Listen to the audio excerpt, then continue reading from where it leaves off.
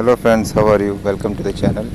Friends every week we will select a topic and today's topic will be 12 common negative observations in the field. It will be related to oil and gas or any field the safety.